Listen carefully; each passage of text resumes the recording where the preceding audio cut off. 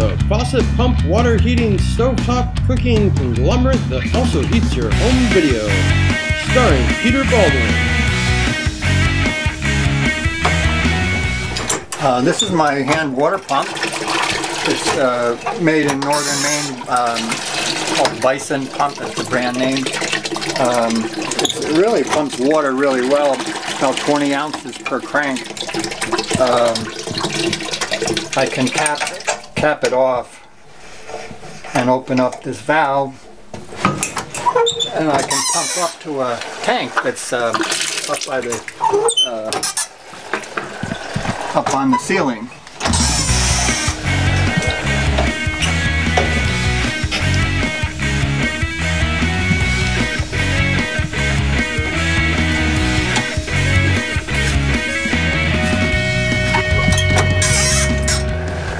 It takes about 72 strokes to fill the tank up if it's totally empty, which takes a few minutes and um, it's a little bit of a workout. Um, but when the tank is full, uh, it will overflow and come out this vent here. And um, that's important because um, also in the loop is the wood stove has seven runs of copper along the back of the stove. This is a drain valve here and then and this is the water line coming down from the tank so the cold water comes in here goes back and forth and back and forth and then it comes out and does eight wraps around the stove stovepipe. Anyhow, from there the, the hot water just rises by itself because uh, heat rises and it goes up into the tank. And then, um, so after I'm, after I'm done cooking, I have hot water for washing dishes or, or for a shower.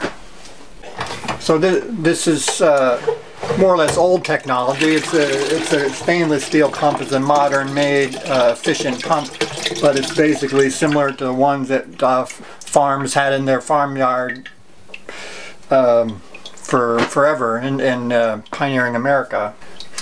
And it's an example of, of uh, engineering and ingenuity that serves people really simply and directly.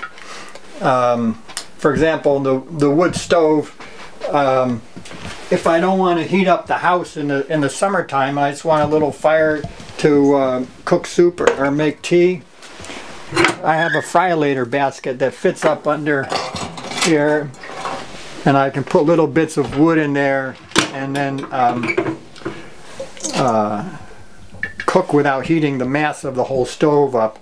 We haven't been using our creative ideas to help people live in a, in a, in a simple, uh, efficient way. We've been using our technology for weaponry and motorized toys and luxurious living, fancy cars, so on and so forth.